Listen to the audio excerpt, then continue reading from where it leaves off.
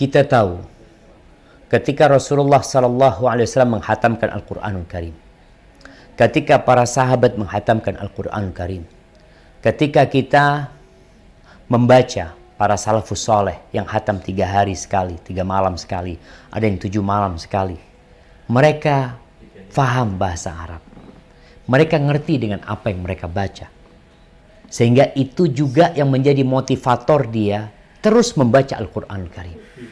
Makanya sampai Uthman mengatakan radhiyallahu anhu, "Lau tahurat qulubukum ma syabi'at min kalami rabbikum." Kalau hati kalian bersih, kalian tidak akan pernah kenyang dengan Al-Qur'anul Karim, dengan kalam Allah, akan terus membacanya. Kemudian kalau ditanya mana yang lebih utama menghatamkan Al-Qur'anul Karim tanpa kita mengetahui artinya atau kita membaca Al-Qur'anul Karim dan memahami artinya. Tentunya kondisinya ketika antum membaca Al-Quran, usahakan antum memahami artinya.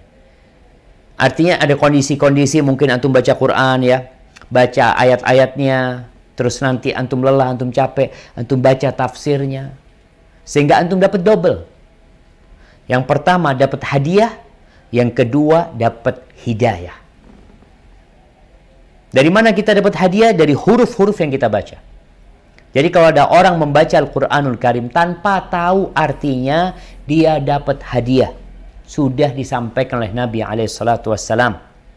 Bahwasanya, Man qara'a harfan min kitabillah, falahu bihi hasana wal hasanatu bi ashri amthaliha.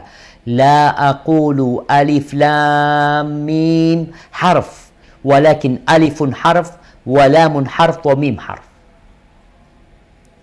Yang baca satu huruf dari Al-Quran Al-Karim dapat satu kebaikan, satu kebaikan Allah lipatkan jadi sepuluh kebaikan. Jadi sepuluh. Satu jadi sepuluh. Satu huruf.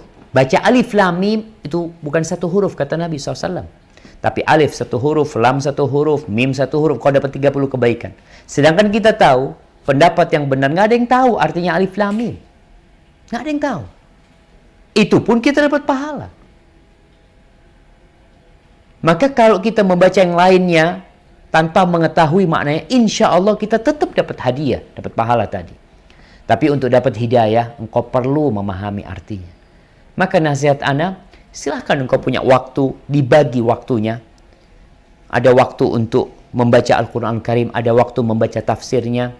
Ini kesempatan jamaah. Artinya antum hatam Al-Quran Al Karim dan hatam tafsirnya insya Allah.